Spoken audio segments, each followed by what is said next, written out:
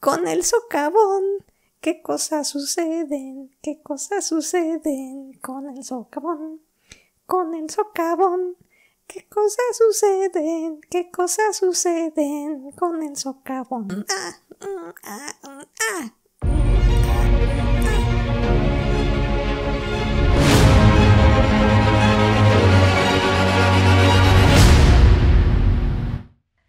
Vamos a platicar de un tema que propuso un miembro del canal, socavones. Únete para que tú también puedas hacer propuestas. Hay cuatro tipos distintos de socavones. Tres de ellos ocurren de manera natural y uno, pues podríamos decir que es culpa del humano. Lo primero que hay que decir es que todos los socavones tienen como origen común erosión, suficiente flujo de agua y un terreno que pueda disolverse en el agua como puede ser la piedra caliza, la dolomita o el yeso. Vamos por partes. La erosión es un proceso en el cual ocurre un desgaste de un cuerpo sólido por efecto de un fluido que puede ser, por ejemplo, el viento o el agua. Puede ser un proceso muy lento si tenemos un flujo bajo o un proceso muy rápido. La erosión no solamente se da en la superficie de la Tierra, también puede ocurrir en el subsuelo. Nuestro planeta no está formado por un sólido suelo homogéneo, sino por materiales de distintas características. Algunos son más duros que otros, algunos son arenosos y tal como mencioné antes, algunos pueden disolverse en el agua, como cuando agregas azúcar a un vaso con agua. En principio son cosas que claramente puedes ver, pero si le das suficiente tiempo o suficiente movimiento al fluido, el azúcar parece desaparecer porque se disuelve en el agua. Tal cual, el primer tipo de socavón del que les voy a platicar se llama de disolución. Este se da en lugares donde hay poca tierra o vegetación por encima de la piedra caliza. La piedra caliza puede disolverse en el agua, de modo que la lluvia y su escurrimiento va formando grietas, caminos por los cuales literal se va disolviendo el material esto forma gradualmente una depresión. Estos socavones o sumideros pueden convertirse en estanques si por la parte inferior de la depresión se llega a formar una capa de escombros de manera que el agua quede atrapada. Este tipo de socavón no se considera peligroso para nosotros porque se va formando poco a poco y son visibles, aunque sí puede suceder que en las distintas capas del subsuelo de repente el agua encuentre un lugar por donde pueda seguir filtrándose y se perfore la capa protectora del fondo de manera que pasaría algo parecido a como cuando le jalas a la palanca en el baño. El segundo tipo de sumidero se llama de cobertura. Estos sumideros se producen en zonas donde hay arena sobre un lecho de roca que está teniendo su propio proceso de erosión. La arena se filtra poco a poco en las aberturas de la roca, haciendo que la superficie del terreno se hunda. La erosión continua aumenta el tamaño de la depresión, en este caso, también estamos hablando de socavones que se producen lentamente. El tipo de sumidero más peligroso es el que se llama de colapso. Y en esta categoría podríamos decir que existen dos orígenes. El origen natural y el origen por culpa del humano. En estos casos, el lecho de roca que se puede disolver por el agua está cubierto por una capa de arcilla que es aparentemente estable. Debajo de esta cubierta el agua va disolviendo la caverna subterránea poco a poco. Esta erosión eventualmente forma una caverna. Llega al punto en el que el suelo se va desmoronando desde abajo hasta que solo quede una fina capa entre la superficie y la abertura subterránea. Cuando esta fina capa cede, se derrumba, el sumidero se abre repentinamente y se traga cualquier estructura que pudiera haber encima de él. Sí puede haber señales de advertencia antes de que se produzca un hundimiento de este tipo. El suelo puede deslizarse de manera notoria haciendo que los postes cercanos o los árboles se inclinen. El hundimiento del suelo también puede comenzar a descubrir superficies enterradas de árboles o cimientos de las estructuras. Una estructura amenazada por un socavón puede comenzar a mostrar pequeñas grietas y las puertas o ventanas pueden comenzar a atorarse a medida que la estructura se asienta. Otros indicadores en el terreno es que aparezcan manchas circulares de vegetación marchita o agua que comience a acumularse en pequeños estanques donde nunca antes había ocurrido. Una señal de advertencia importante es cuando aparecen los que se llaman agujeros de chimenea o sumideros de chimenea. Se trata de agujeros verticales profundos que pueden tener distintos tamaños y paredes empinadas. Estas tres categorías de socavones son las que van a encontrar que se clasifican de acuerdo a los geólogos. ¿Por qué dije que aquí había un factor humano relevante?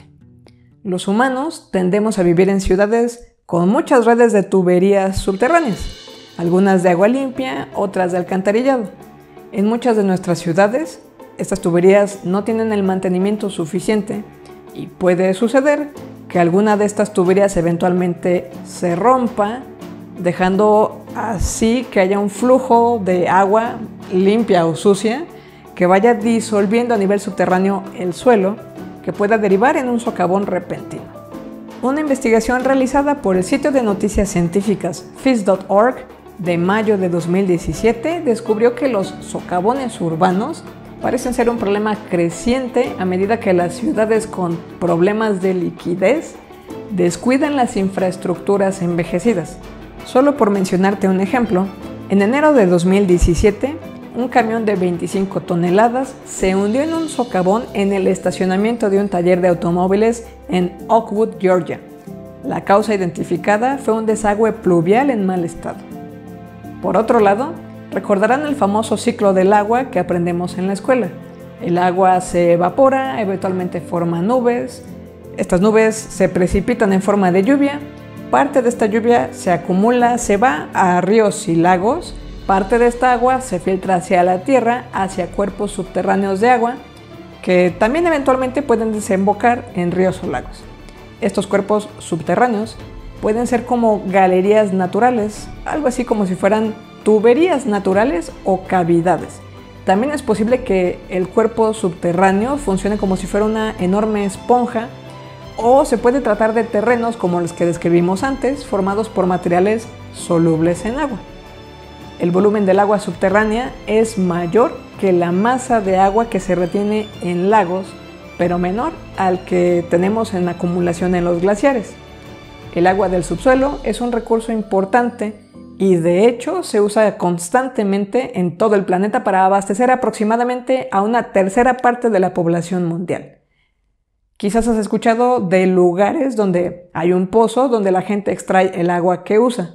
Estas aguas subterráneas pueden agotarse si las sobreexplotamos de manera que estamos extrayendo más agua que la que permitimos que se recupere en el proceso normal de la lluvia. Parcialmente logramos esto porque somos muchos y consumimos mucha comida y otros recursos que de una u otra forma consumen agua. Y parcialmente porque nos gusta vivir en ciudades con pisos impermeables, nuestra casa es impermeable, nuestras banquetas son impermeables, nuestras calles, a pesar de los baches, tienden a ser impermeables y para colmo, al menos en México, el agua de lluvia la mandamos a la alcantarilla a mezclarse con aguas residuales.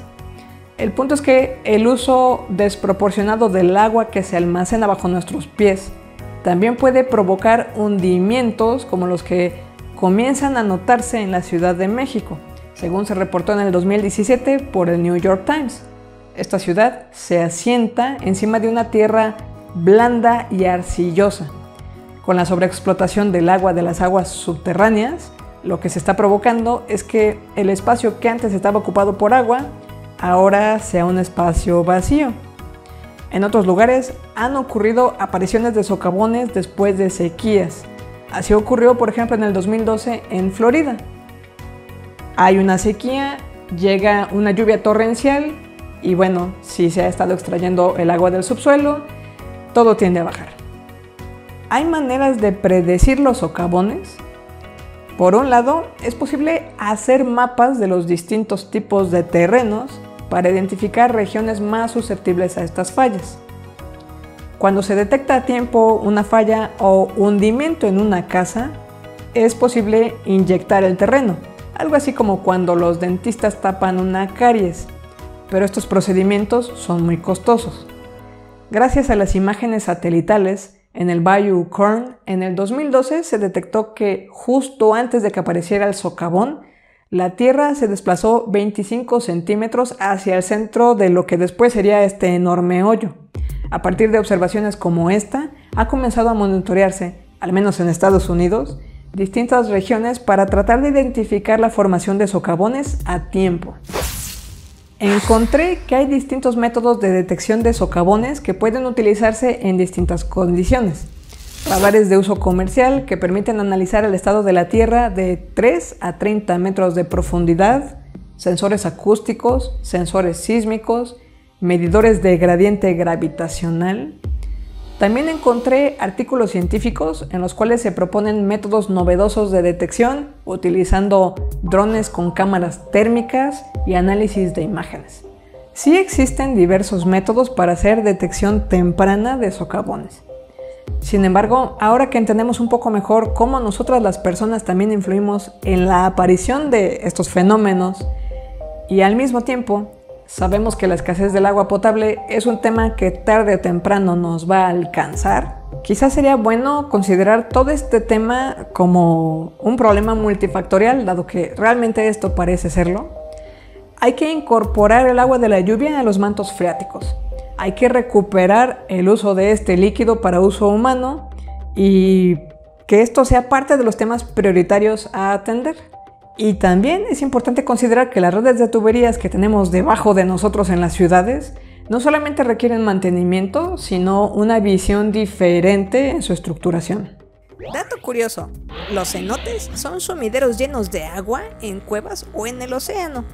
El más grande es el Pozzo del Merro en Italia, que tiene al menos 392 metros de profundidad.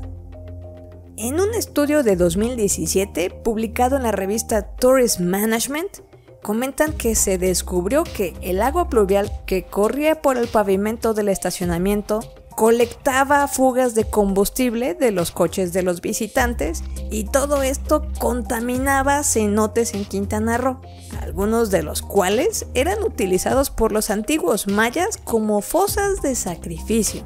Según los investigadores, los niveles de contaminación aumentaban y disminuían con la temporada turística.